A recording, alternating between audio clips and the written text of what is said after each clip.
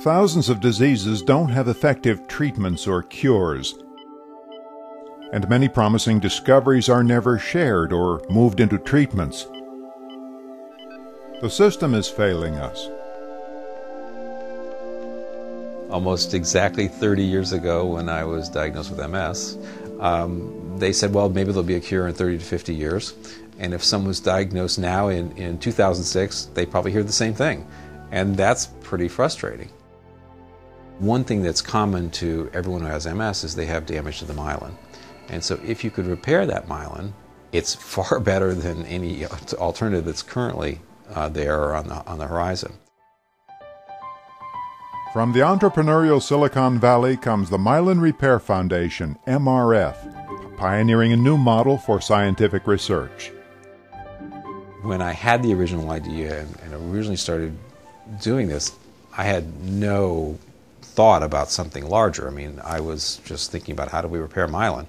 And developing the model was simply what's the most effective way to do that. We selected the best possible people to do the work. We put together a plan of action, both a strategic plan and a research plan. We provide the funds to the team to, to work. We uh, provide a, an environment for them to function at their best.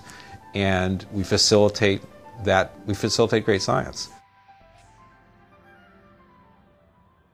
There is a certain amount of competition that goes on in science. That everyone is sort of working uh, to discover things that they can take credit for. So there's a good side of that, you know, the incentive of you know establishing yourself as a successful scientist and making discoveries. But the flip side is that it means that scientists don't work together in teams as much as they should. They sit on important discoveries for years prior to publishing them because they don't want their competitors to find out uh, and scoop them. What happened was that Scott started brainstorming with scientists, and you know he started developing ideas for how you could put together a team where you could have you know five or six different members, each with an interest and an expertise in myelination. Anyone who learns about the model sees how simple and straightforward and that it clearly should have a great impact. It's just drawn great people to help us, and we're far ahead of schedule. Uh, things have worked smoother and faster than we even hoped. We've identified a new drug target that promotes the formation, the rapid formation of myelination, and that's what happens in our culture dish.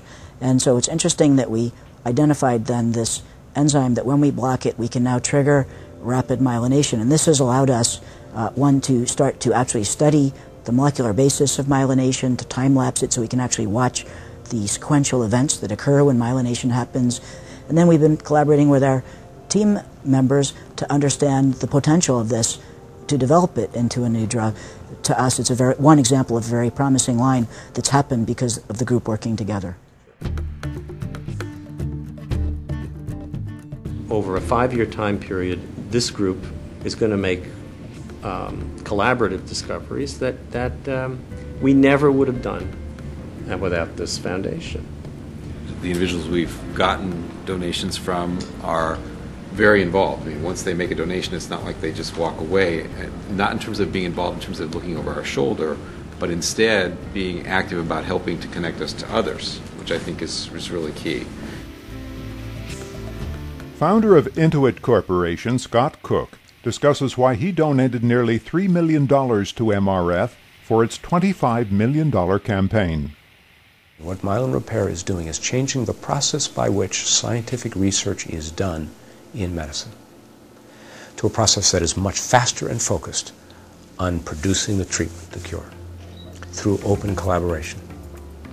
This will change the world. This will solve not just one disease condition, but dozens and hundreds. I've spent time talking with the science, and I can tell you, you can see it in their eyes. That science is happening far faster. They can feel it every day of their work. Stuff that used to take a year or two now happens in months. Stuff that would take them months now happens in days. They can feel this neck snapping of acceleration. We're quicker to patents than anyone expected. We're quicker, quicker to actually have the first compound ready to go into development than any of the scientists expected. That's the proof to me that this is working.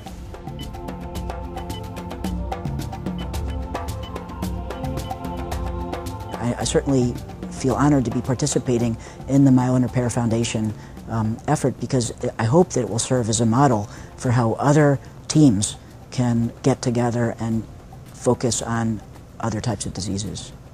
I think if you talk to almost anyone involved with Myelin repair, whether it's on the science side or on the staff or volunteers or supporters, all of them feel like this is, you know, we're on a mission, that this can have a major impact. To me, one of the most amazing things to feel that I have a hand in helping make happen is to take thousands or tens of thousands of the most brilliant minds on the planet to reposition them into a process that frees their minds to move as rapidly as they can. It energizes and provides the tools they need and the insights and collaboration and triple their productivity.